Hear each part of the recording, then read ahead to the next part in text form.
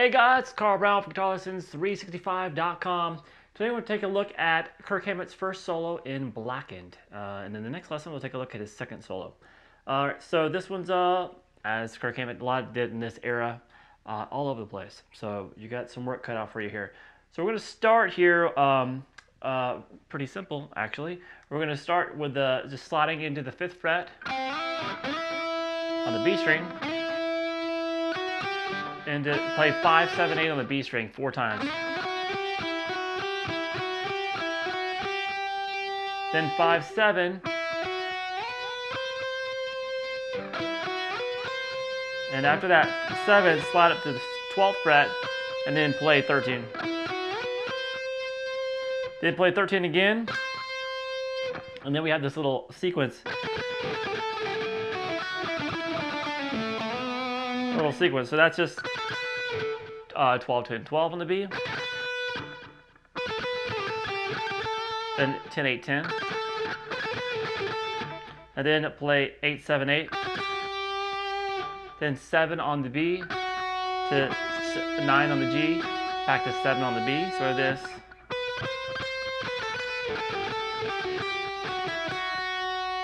Then 9, uh, 7, 9 on the G.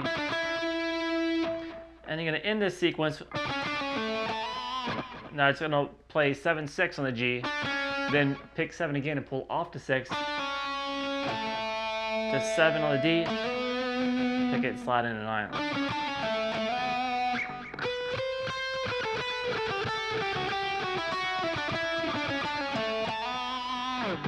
Alright, the next phrase looks like this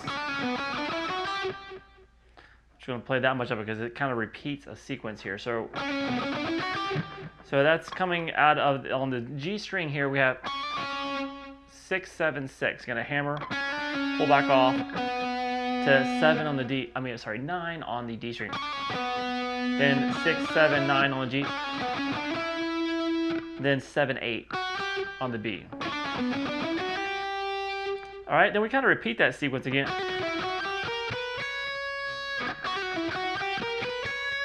Uh, just with different notes. So we're higher up in the scale. So we have, so that's hammering the 7, 8 on the B, hammering pull to 9 on the G, then 7, 8, 11 on the B, a little bit of a stretch, to 7, 9 on the high E string. So you can see those are the same sequence, same pattern. And then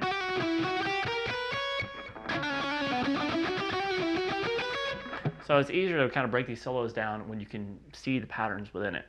All right, now we have this.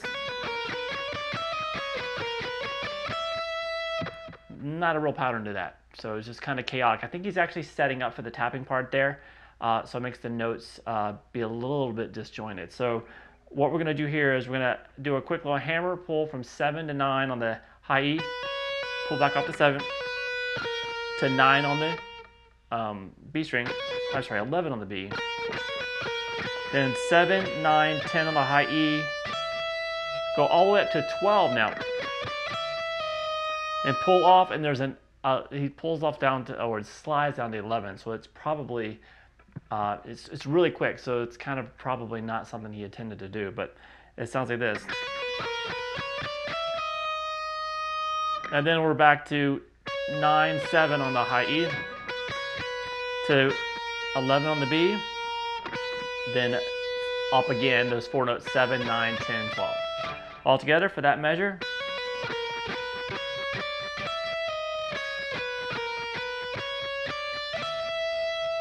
Now, he probably taps with his middle finger. I, you know, I haven't really tried to watch him do it.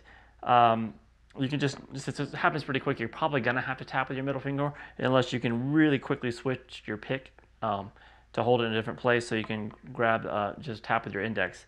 Either or, you're going to be tapping here at the 19th fret three times on the high E string. And this, the pattern will be this, tap, pull off to the 9th fret, and then hammer 12. So it's a three note pattern. So you're going to repeat that three times.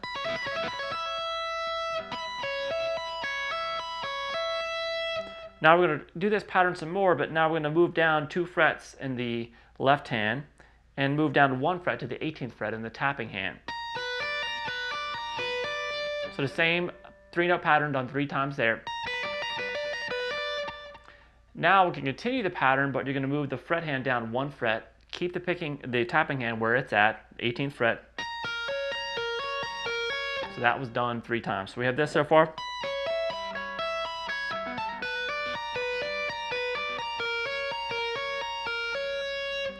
Now we're going to move over to the B string. You're going to tap the 18th fret on the B, and you're going to be hammering 8 to 12 on the um, B string with your left hand.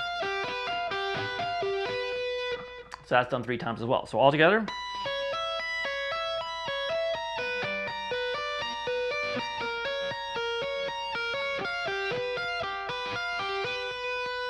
Now you're going to move the tapping down to the 17th fret, and it gets um, a little bit um, kind of random here. What he's doing is just messing around with the 17th fret tap and doing 7, 8, 10 in the, um, in the left hand. So we have sometimes we'll do the full pattern. What he's basically doing is tapping as pretty much as fast as he can and just and doing legato in the left hand. Then he takes it over really quick to, to, to the G string. Tap the 17 one on the G once on the G, and then just do a pull off nine to seven back to the nine. So he's gonna hold on to that one on the B string a lot longer than the other ones, but it's more of a random effect. Uh, the actual pattern stops there though at this part. So all together for the tapping.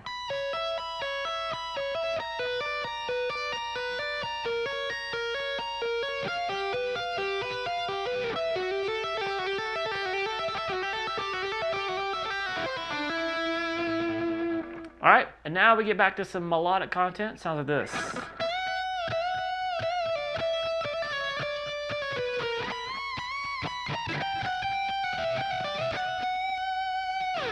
All right, so that's a bar uh, bend at the 17th fret on the B string.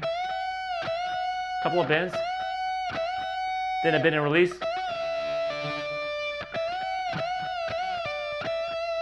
Pull off to 15 and back to 17. So like this. And then, then that's a quick little hammer, pull back off to, from 15 to 17, slide down to 14. Back to the 15th fret there on the beat. So we have this. Then pull off 15, 14, and play 16, 15 on the G string.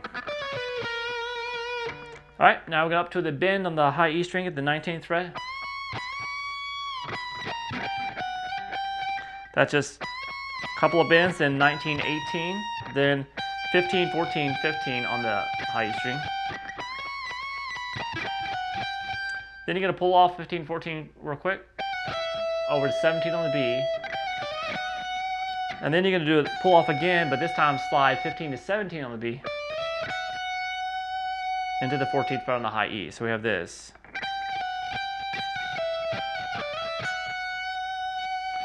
When you get there, now we're going to start another pattern here. So that is pulling off 18 to 14 on the high E, over to 17 on the B. And just repeat that. And you're going to end it with the 19th fret on the high E, just slid down. All right, so that takes care of his first solo. Stay tuned in the next lesson. We'll take a look at his second guitar solo in Blackened.